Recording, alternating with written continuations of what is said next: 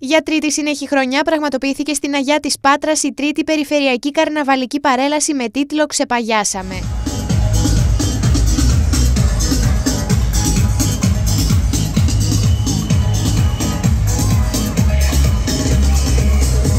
Η περιφερειακή παρέλαση στην Αγιά καυτηρίασε με το δικό της τρόπο την ακρίβεια που οδηγεί τα νοικοκυριά και τις επιχειρήσεις να κλείνουν τους διακόπτες τους και να διαβιούν σε συνθήκες ψύχους προκειμένου να εξοικονομήσουν ρεύμα.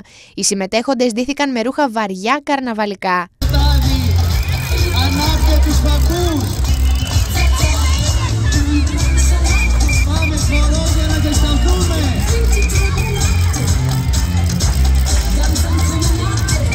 Οι εκδηλώσεις ξεκίνησαν το απόγευμα της Πέμπτης με θεματικό μακιγιάζ των συμμετεχόντων στην πλατεία Ελλήνων Πεζογράφων. Αμέσως μετά έγινε καρναβαλική παρέλαση με τη συνοδεία μουσικού άρματος, αυτοφωτιζόμενου άρματος και τον Έξαλτιμπάγκο. Η καρναβαλική παρέλαση ολοκληρώθηκε στην πλατεία Ντεμιράντα με τους Έξαλτιμπάγκο σε ένα σόους με φωτιές και δωρεάν ζεστή ντοματόσουπα.